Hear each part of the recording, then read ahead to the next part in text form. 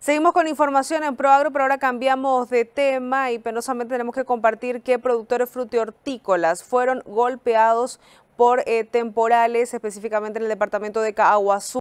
Y bueno, para tener algunos detalles acerca de cuándo, cómo se dio la situación, estamos en contacto telefónico hasta ahora con el señor Francisco Mesa, el expresidente de la Unión de Productores Frutihortícolas del Paraguay. Francisco, buen día y gracias por su tiempo para Canal Pro. ¿Cómo está?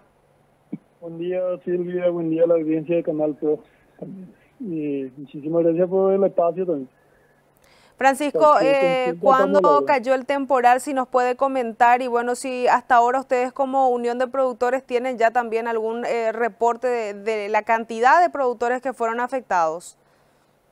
Justamente Silvia, eh, el sábado por la tarde yo estaba por lo menos divirtiendo en una cancha jugando fútbol y ahí la tardecita a mí me llamó unos cuantos productores de distrito vecino que me comentó que pasó un temporal ahí y me mostró y me pasó también eh, la imagen que yo pasé también a, ese canal lo que ocurrió allá.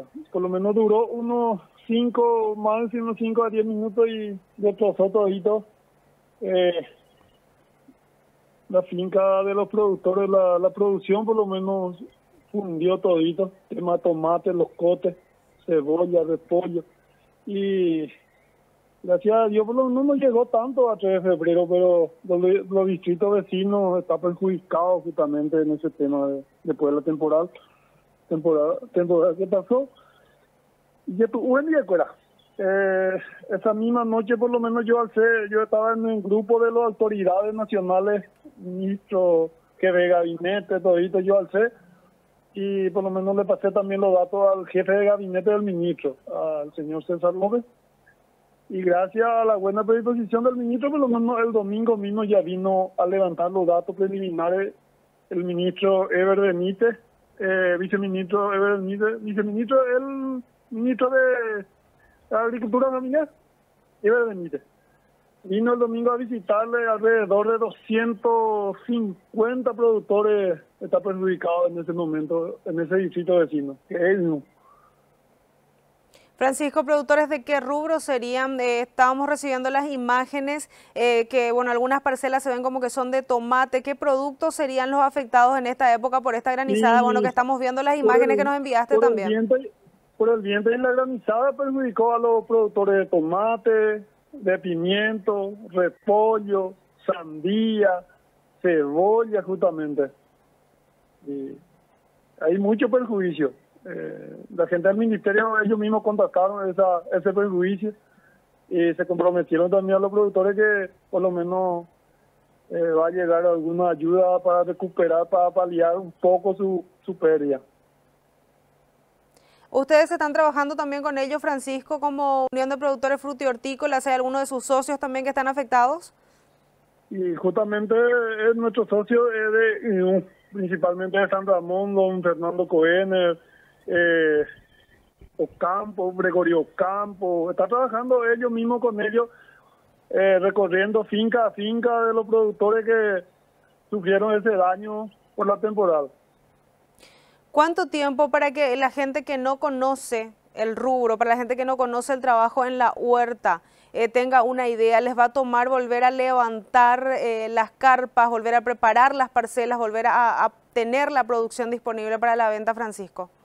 Y si tenés todito a mano en 120 o 130 días después, pero tenés que tener ahora mismo la infraestructura y preparar todito. Eh, por lo menos preparar la semilla, trasplantar, tiene su proceso. En 90 días, por lo menos, tomate, por lo menos en ese verano, ya en 85, 90 días después de trasplante, ya se cosecha otra vez, pero eh, lo que perdieron, por lo menos, va a esperar unos 120 días o 130 días para preparar todito. Eh, primero tiene que preparar el invernadero, todo. Tiene que tener toda la material. Es una pérdida tremenda para ese productor. ¿Y a nosotros cómo nos va a afectar, eh, Francisco? El área es importante, son muchos los afectados en este sentido. Eh, ¿Crees hasta ahora Yo sé que es muy reciente, pero ¿crees que puede llegar a afectar eh, el precio al tener una menor oferta, vamos a decirle, de los productos allá en la zona? Justamente por lo menos en ese tiempo hay una buena calidad de producción y cantidad de producción y yo creo que un poquito va a bajar el volumen por ese tema porque 250 productores que produce eh, unos cuantas plantaciones de tomate por lo menos vamos a ver qué pasa porque alguno va a recuperar, va a levantar por lo menos si no rompe toda la, granizada en alguna parte. Eh, te comento que en San Ramón por lo menos el viento es fuerte y aplastó todita la producción y en ese punto por lo menos va a recuperar un poco de la producción de algunos eh, plantaciones no sufre demasiado daño pero en algún punto por lo menos se perdieron todito la producción se rompieron todito las frutas eh, con la granizada ¿y cómo está? de, seguro que va, va a repercutir eso de aquí a un mes o 22 o 40 días ya, ya va a haber consecuencias de daño.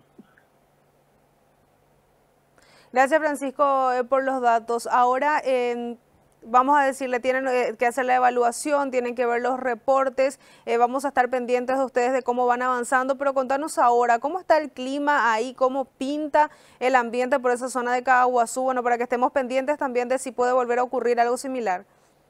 Y ojalá que no lleguen más, pero y ahora está por lo menos un poco húmedo.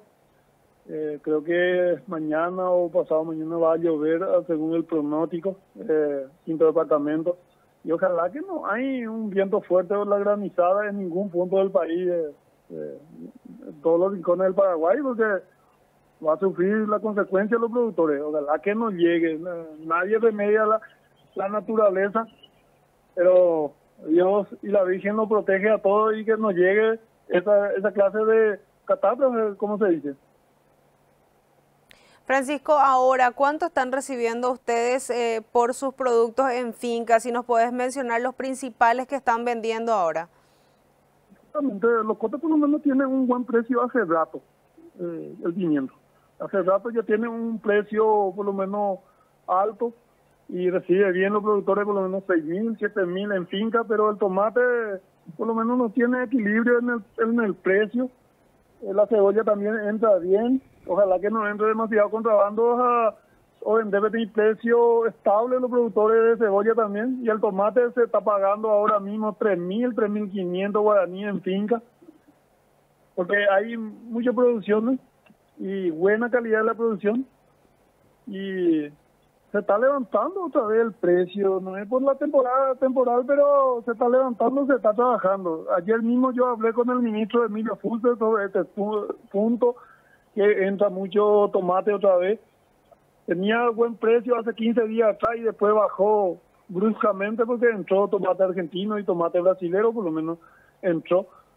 En los supermercados principalmente yo tengo información y cuando tenga información le voy a pasar, le dije al ministro otra vez hablé con el ministro Emilio ayer y estamos programando una reunión, una evaluación de los trabajos realizados el próximo martes 14 en la en el local de la UIC principalmente, con todas las autoridades, representantes de productores y con todas las autoridades de organismos de control, porque eh, el tomate es lo que no tiene equilibrio de precio, eh, no se mantiene en el precio, bajó bruscamente unos 15 días y después subió un poco, y porque entran. Principalmente por contrabando. Entonces, Francisco, gracias por el tiempo. Nosotros vamos a quedar pendientes de los resultados de esta reunión, como por supuesto también de cómo están todos los productores que fueron afectados por el temporal. Eh, sí, muchísimas gracias a vos, Silvia, por el espacio y ojalá que eh, el Ministerio del Gobierno Nacional llegue pronto la ayuda a ese productor perjudicado. Justamente ellos mismos levantaron los datos y ojalá que llegue eh, pronto para que por lo menos se reponga otra vez el productor que está perjudicado. Gracias Francisco, buena jornada, fuerza para toda la gente de Caguazú. Dale, un gusto.